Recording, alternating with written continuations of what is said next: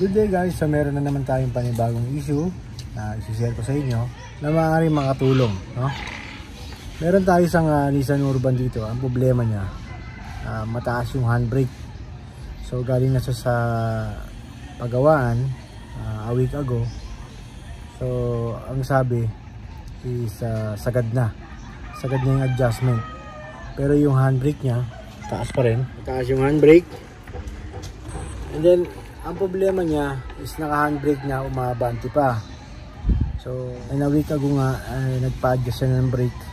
Pero nung pina-check sa atin, sabi ko, kung bagong adjust, bakit napakataas ng uh, handbrake niya? Ayan, tignan natin kung bakit. Ha? Bakit mataas yung handbrake kahit uh, na-adjust na yung uh, brake niya sa likod.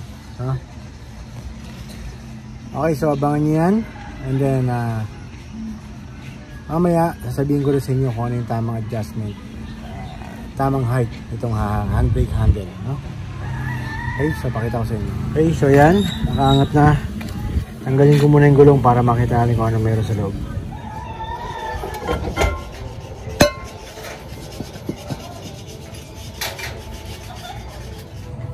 Okay guys so yan na.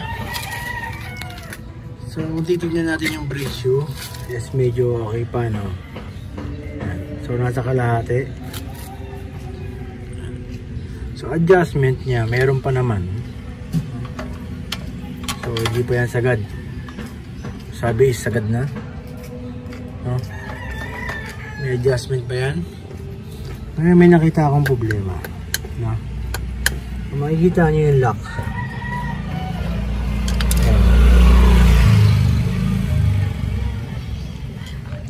Yung lock ng adjuster hindi siya nakapatong. So hindi siya nakalock. Ayan. Ayan makita nyo ba? Mahirap makita, no? Ayun. Ayan, nakaangat. Hindi siya nakalak. No? Ang tanong ngayon, bakit? So, tignan natin. Kasi ito, napalitan na ng brake shoe maaari mayroong uh, anomalya rito sa loob. Yan, so hindi nakasampa ron. Ibig sabihin, nakahila to. No? Nakahila yung sa handbrake.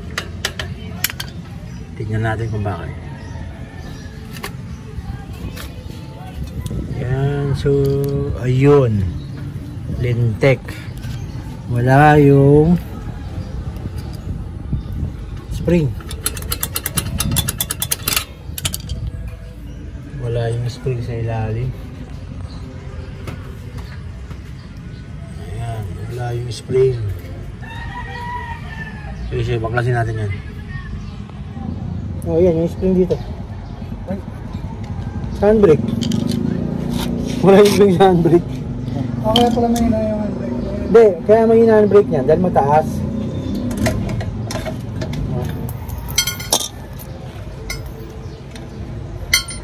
binalik ngunit kulang. Pinagpalit ng ano?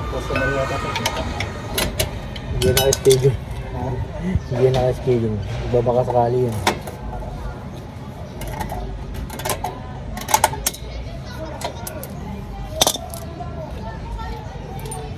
May kulang. Pero malalim na rin yung drum brake mo pareso Na magic? Balik. Bakit? Ito ba yung yung master? Oo. Oh.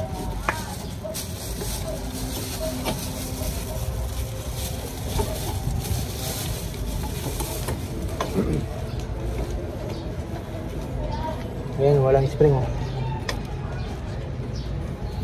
Mahirap kasi ka.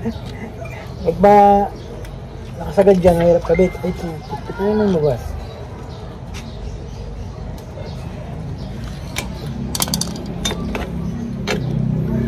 Uy, labas.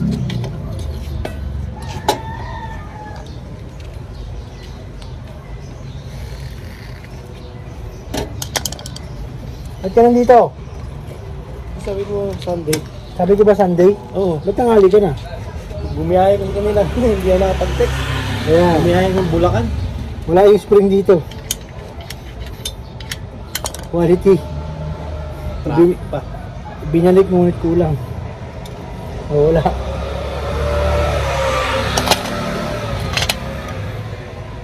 Ang lakas mo sa brake shoe, no?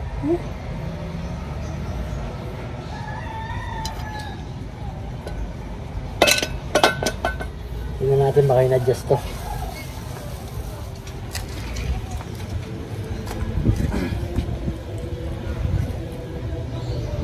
Ayan o. Sagad yung adjustment. Tingnan mo yung adjustment na gawin mo. Sagad, di ba? Hmm. May clearance siya na konti. Ayun na ka. Ay guys, so nakita ko, meron kasing gumagawa dyan. Imbis na mag-adjust dito sa adjuster screw ng ah, brake shoe, dito nag-a-adjust sa handbrake. No?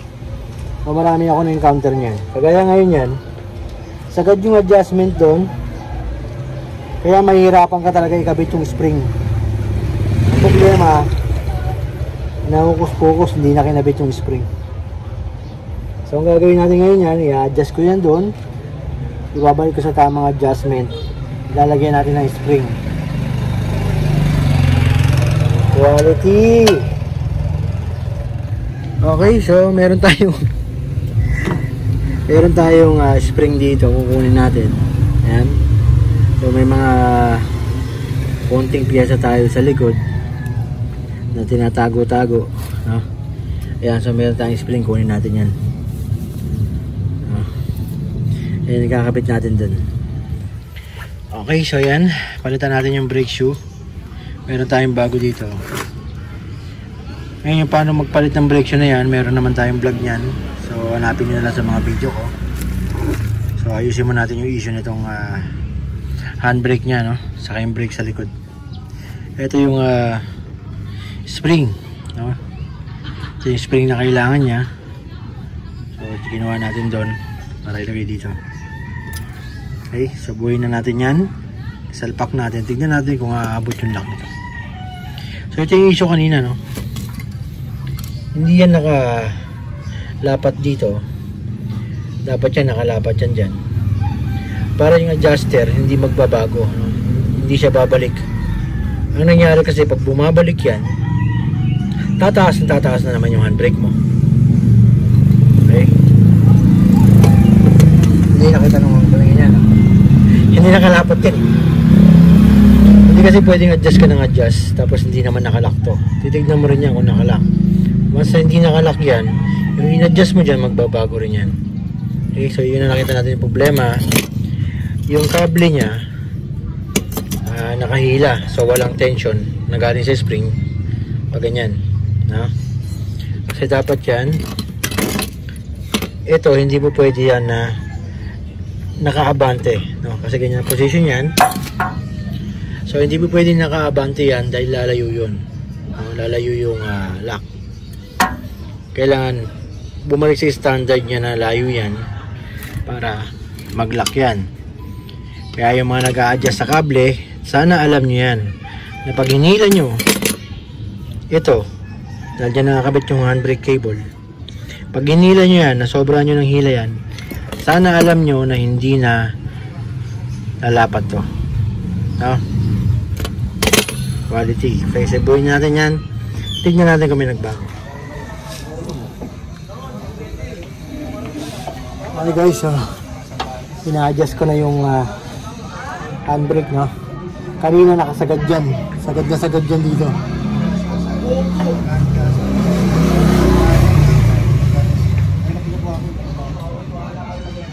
Yung iba kasi dito nag-adjust ng handbrake okay so ibabalik natin sa standard. Sana wag pakilaman no yung mga nag-adjust ng handbrake dito sana alam niyo yung tamang adjustment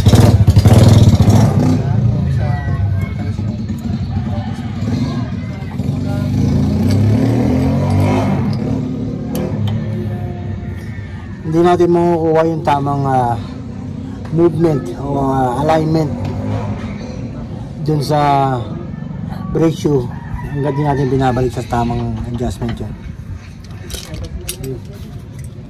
Tama nga, magbabago yung handbrake pag ginalaw mo nito. Pero magbabago din sa loob. Okay, so yan. Yan, medyo umaba na. Okay. Ngayon, malalagay na natin ngayon yung spring. Dito yan.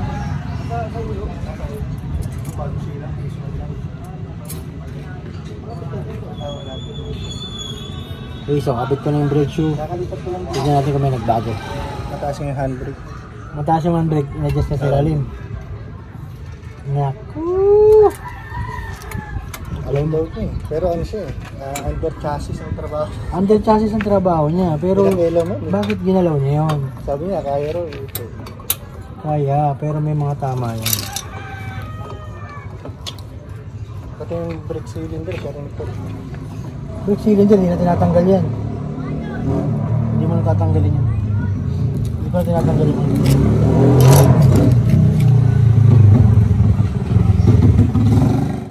Okay guys, ang uh, naikabit ko na no. Ngayon, uh, tignan natin kung tamang hinala na naman ako. No? So, ang naging issue nito, ah tumataas yung handbrake. No? So, kung gaya ng sinabi ko kanina, ah, a week ago nagpa-adjust siya. Then ngayon mataas ulit. No? So, ito ang problema. Ah, yung pinakita ko sa inyo kanina, kulang ng spring. And then, uh, in-adjust yung handbrake sa cable. Ngayon, pakita ko sa inyo ngayon kung ah, nagbago. No? And then, abangan nyo yung, yung ah, tamang adjustment ng ah, handbrake. Abangan nyo yan. Pakita ko sa inyo. Lahat yan, papakita ko sa inyo. Pakita ko sa inyo. Okay guys, ayan na. Nakakabit ko na yung brake shoe. Ngayon, uh, kung maalala nyo, sabi ko kanina, ah, yung lock ng ah, adjuster is hindi nakapatong, no? Ayan. So ngayon, makikita nyo, ayan, zoom natin. Ayan, nakapatong na siya. Ayan. Okay. So, nakalock na siya rito. Teka lang. Yan. So, nakalock na siya rito. Yan. Yan. Okay. Ngayon, magagawa na natin yung adjustment ganyan. And then, pag in-adjust mo yan, hindi na babalik yung screw. Papasok ulit. Para tumas ulit yung handbrake. Okay. So, ang nangyari, ito, umatras dahil yung cable nag-release doon. Nag-release doon, ang ginawa nung ah, nag-adjust is inabante. No? Under chassis specialist ha. Okay. So ngayon, kabit na natin drum brake. Bigyan natin ng magandang adjustment. Then tuturo ko sa inyo kung ano ang tamang adjustment.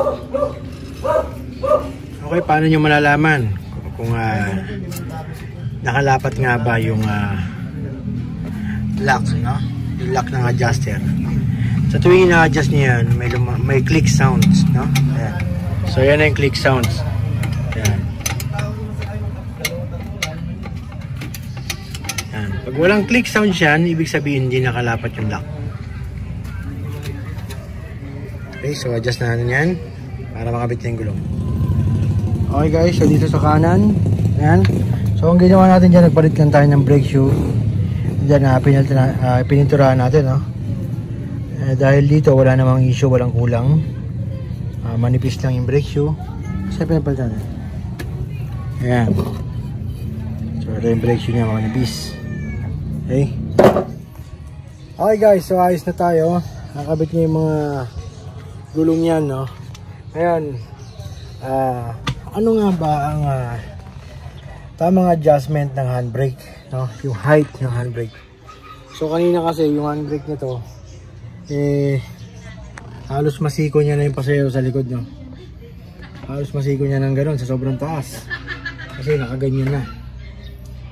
So ngayon, ayan, nabago na. Ayan. So, ano nga ba ang tamang height niyan? No?